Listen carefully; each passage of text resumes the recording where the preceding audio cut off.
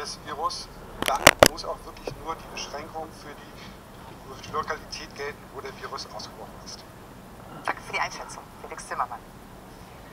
Ja, was in Europa ein Schreckensszenario wäre, das ist in Israel in Sachen Corona bereits Realität. Eine zweite Welle, die so heftig ist, dass von Regierungsseite indirekt eingestanden wird, dass die Pandemie ihnen praktisch außer Kontrolle geraten ist. Es gibt inzwischen in Israel wieder mehr als 1000 Neuinfektionen täglich.